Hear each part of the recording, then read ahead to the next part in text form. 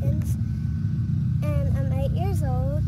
I'm doing this for Cherokee County, and this is my blizzard. He weighs 1135, and he's out of my show heifer.